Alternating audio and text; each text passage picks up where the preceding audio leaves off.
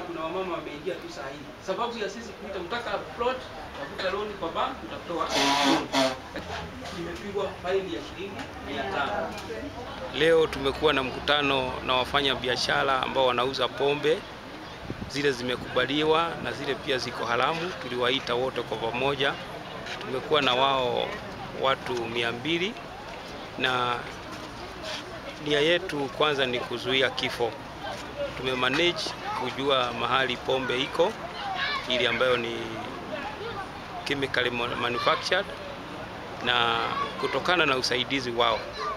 Wanatusaidia pia kwa maneno mambo ya security and we have been able to to identify to receive a lot of information on criminals and also where illicit brew that is being manufactured and we are going to use that information that we have collected today to to secure our area and prevent death.